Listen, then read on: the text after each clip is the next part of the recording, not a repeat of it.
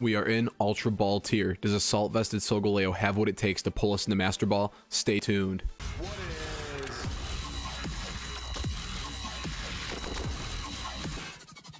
You already know what it is. Your self-proclaimed mediocre Pokemon master here, Tigglyman, coming at you with a Series 8 ranked VGC live.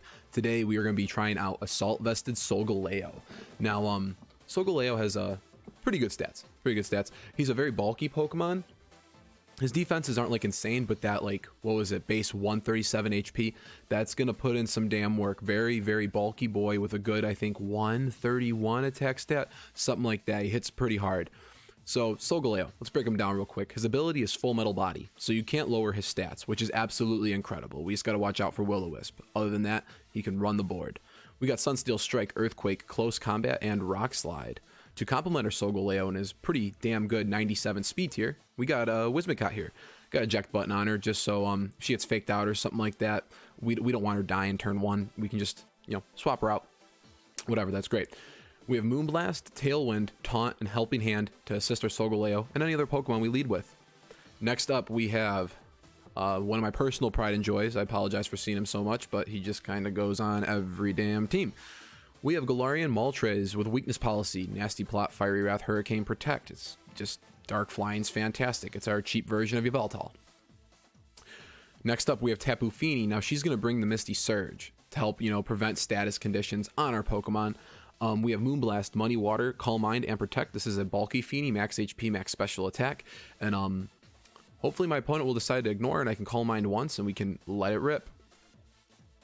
Followed up with that, we have Choice Banded Urshifu, which is probably the best wall breaker in the game, even in this Uber's meta. He's absolutely insane. With a pretty damn decent 97 speed tier, accompanied with Tailwind, he's going to put out some massive, massive ass damage.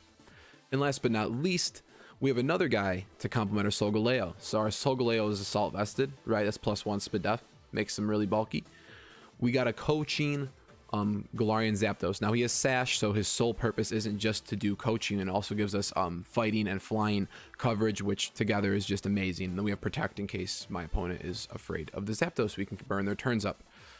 If you'd like to use this team, the rental code, as always, will be in the description down below. Without further ado, guys, I'll catch you in the first battle. Got our first match here. We're versing Dialga, very interesting team on my opponent's and Someone must be excited for Sinnoh remakes. Electivire, Mamoswine, Togekiss, Magmortar, Gastrodon, and Dialga. Very cool team, Max. Loving it. Okay. Now, Assault Vested Solgaleo um, looks pretty good here. He really does. So, let's lead Solgaleo and our Zap. Um, Urshifu looks pretty good, but Tapu Fini might be looking a little bit better. Let's do Fini and Moltres. And let's call it a day. Let's see what we got. Really love to see the whole Sinnoh get up. And you don't see Electivire too, too often. With his ability, I believe he gets Motor Drive. So he gets hit by Electric type move, I'm not sure if it redirects the Electric type move, but whenever he's hit with one, it increases his speed. Not too shabby. Now here, I'm expecting um, like a Mamoswine Togekiss lead or something like that. We'll see. Because I think Mamoswine puts some big work against my team. He's super effective against Whimsicott, Moltres, and Galarian Zapdos. Fortunately for us, but uh, fortunately for us, those are kind of the Pokemon we want him to attack. We want Solgaleo to get ignored. Alright, let's see what my opponent decided to lead with.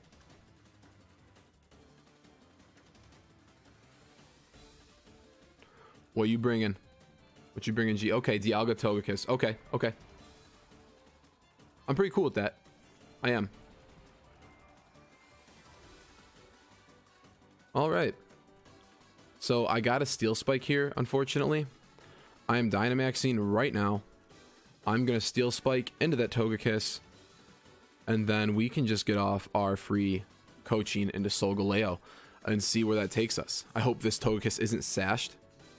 Even if it is Babiri Berry, I think this might still knock it out. We'll see. We'll see. Once we kill my opponent's redirection, we can then max Quake the Dialga and uh, hopefully one-shot it. Unless he clicks max steel spike, which he should. But after this one max steel spike and coaching, our defense is patched. We're good. So the coaching from our Galarian Zapdos is going to put us at plus one attack, plus one defense, and then because of our Salt Vest, we'll be at plus one uh, special defense. So extremely, extremely bulky here.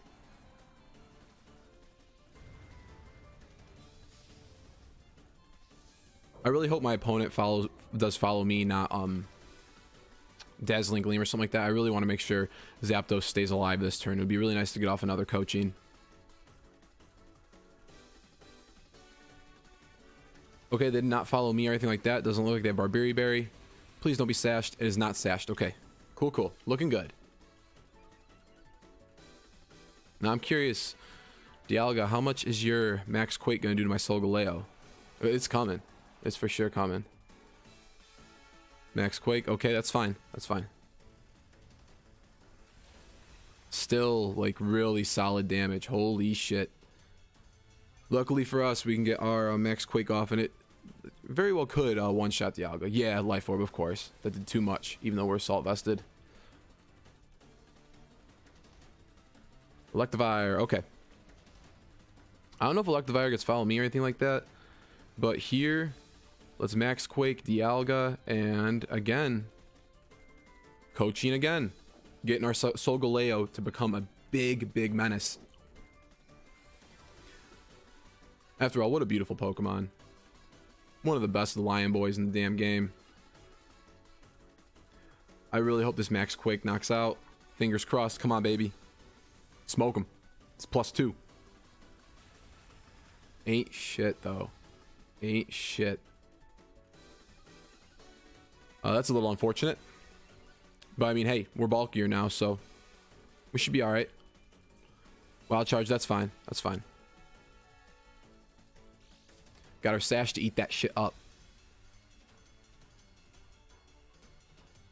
Now, I don't even think we need to coach again. Yep, there we go. Barely any damage. Here, what do I want to do? Let's Max Knuckle, Electivire, and let's just Thunderous Kick this Dialga. I hope it does enough. I think it should. If it doesn't, we're going to be kind of in a bad spot.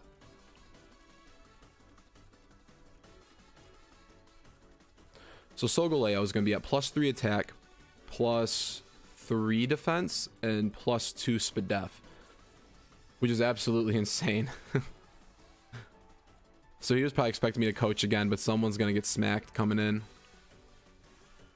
Gastro, okay. Wish I could have just nuked Gastro, but that's okay. We're gonna start pressuring him, get those defense drops. Great damage, holy shit. Galarian Zapdos is such a good boy. And this should KO. Yeah. And I think this is probably game. Because now Zapdos, uh, I can just Earthquake. yeah. Yeah, that's it. Holy shit. What a beast. Alright. Yeah, th this should be GG. Hold up. Unless one of them gets wide guard and they predict the earthquake, I'll shit my pants, but we'll see. Okay, so I'm just gonna earthquake and then I guess just coaching again. just for a little bit of overkill action. Now, I don't think my opponent was really like ready for this little duo, but what a what a brutal start to it all. I like how uh, Galarian Zapdos' nose just goes halfway into the whistle. That was so cool. Smoke him. Smoke him. Hey, hey, hey, hey, beautiful first one. Beautiful first one. It's been a while since I've gotten a 4-0. Enough said. Catch you guys in the next battle. Actually, let's check this team out real quick, shall we? Just to see what people got going on in the ladder. Okay. Let's see what the Sinnoh team was made of. Choice Banded Electivire. Very neat. 175 attack. Yep, with that motor drive ability. Um, Wild Charge, Brick Break, Light Screen, Earthquake. Interesting set. Mammo, what's the Mammo? Focus Sash with Snow Cloak. Probably should have Thick Fat, but that's okay. Rock Slide, High Horsepower, Ice Shard, Ice Icicle Crash. Okay, this person really like had it out for somebody. Lots of attacks. And then this is a uh, usual um, with Weakness Policy. Was great in Series 1, but not so much anymore. And then the Gastro. Usual set. Expert Belt, very cool. Mixed um, defensive and offensive. Four attack Dialga, what was that? Oh yeah, Life Orb, duh. Duh. That Life Orb Dialga put in so much work. Look at that Magmortar special attack stat. That is pretty high. Protect three attacks with an Assault Vest. Very neat. Unfortunately, um, his bulk really ain't there. I don't think Assault Vest is the best item for that guy, but very, very cool team. Catch you guys in the next battle. We are up. Um, this team is menacing. It is not looking good for Solgaleo here, but hey, Galarian Moltres looks pretty damn good, wouldn't you say? So hey, let's. What do we want to do? We want Moltres, right? Moltres uh, pretty much destroys everyone on his team. Should we just do Moltres Wiz? I think Moltres Whimsicott leads pretty damn good. I think Tapu Fini looks really solid here too. And who do we keep in the back? Kind of want to keep Urshifu. Because Choice Band Urshifu is a damn beast. Galarian Zapdos, do you put in much work? Galarian Zapdos puts in work too. I'm going to bring Urshifu though.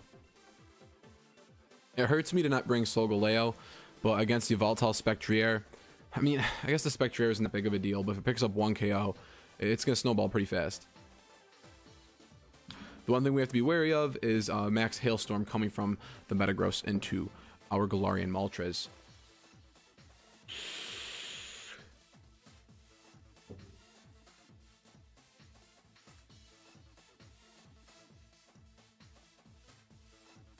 All right.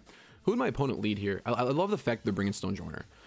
The only thing with Stonjourner is his Spadef is 20. Yes, literally 20. So any special attack will, for the most part, knock him out, even if it's, like, resisted.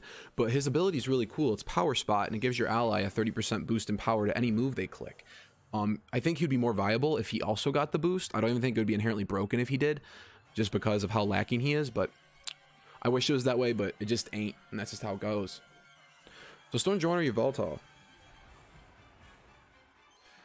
This Yveltal is going to hit like a damn bus. Now, I do...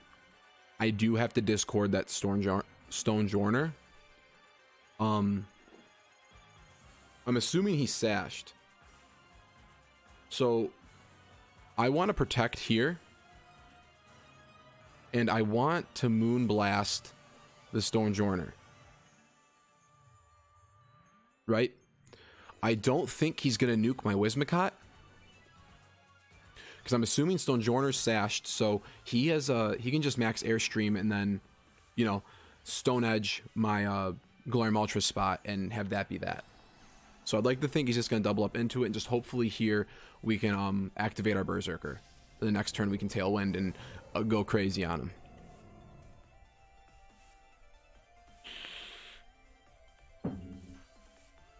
Please don't prove me wrong. Please don't tell me I could have Dynamax Moltres. Okay, cool, cool. See? You see what I mean? It's just a Whimsicott. It's not even like a crazy offensive threat. That was neutral, and it did what it do.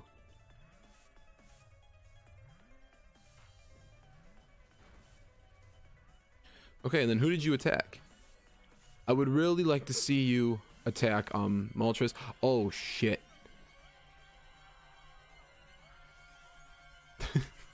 My first time using eject button. God bless. Okay.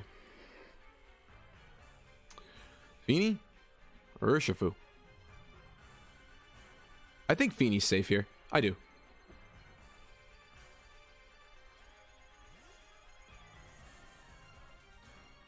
Now, I'm, I'm assuming max Airstream in the Moltres slot.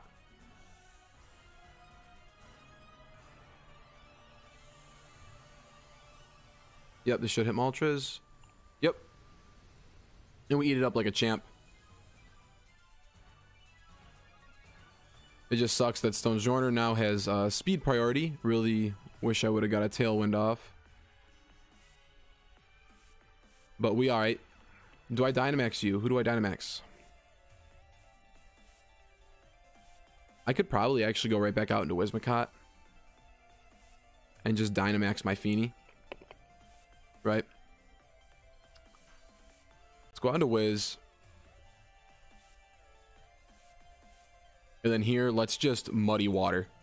Assuming my opponent's going to try to nuke Moltres. I'd like to save Moltres for possibly a late game Dynamax. Lots of pivoting. I apologize for the slow momentum, but we're, we're going to try to bag this. Rock Slide, don't flinch me. Don't flinch my Fini. That's good damage, actually. Oh, that was a crit, that's why. Don't crit flinch. That'll make me so sad. He did not like my Fini. Okay. Okay, now we're in a better spot.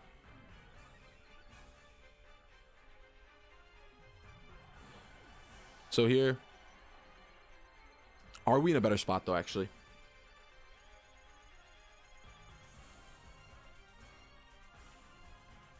Alright, let's pray.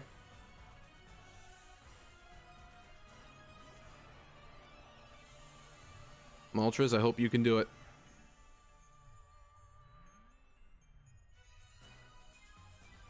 Helping Hand, Moltres, Max Airstream, Yveltal. Now here we're hoping for a Weakness Policy proc. We hope we survive, and we hope we can one-shot this Yveltal, get Urshifu in, and spam Sucker Punch and get speed advantage. This is a tall order to ask, but I mean, it is possible. Assuming uh, my Moltres doesn't go down this turn, which is, I think, likely. But we're, we're going to try. I shouldn't have put eject button on Whimsicott. Silly me trying to try uh, different shit. Should have put switcheroo. I could have switcherooed it right onto Yveltal. Oh no, I can't because dark type. Moltres survive. For me, please. That was good damage against my Moltres. Do we survive this max airstream though? Oh, uh, this is tough.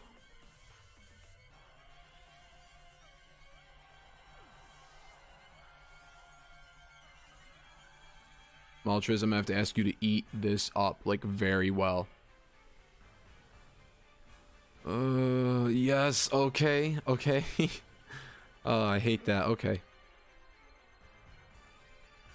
So now all we can do is hope that Urshifu is capable of picking up KOs, and yeah, that didn't do shit. That didn't do a damn thing. Is there a salt Vest of Yveltal? Damn.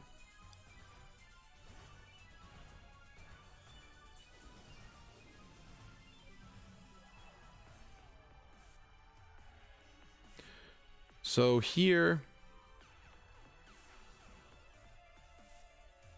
I Sucker Punch, Stonjourner, and then I max Airstream the Yveltal slot, and assuming he attempts to nuke Urshifu. Ah, this is so unfortunate. Yep, bye, Urshi. My Urshifu with Sash, this might be a bit different of a story, actually.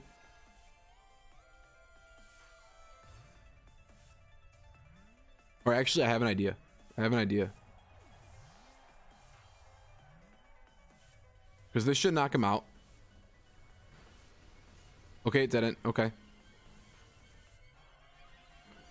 I might... Oh, no, I can't because I didn't knock him out. He has speed priority. Damn it. If I knocked him out, I might have been able to just a Fiery Wrath the next turn because I was at plus three.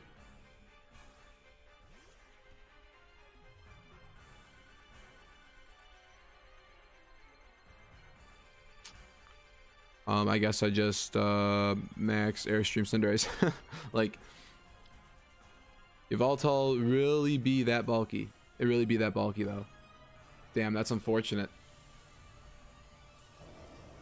I'll catch you guys in the outro.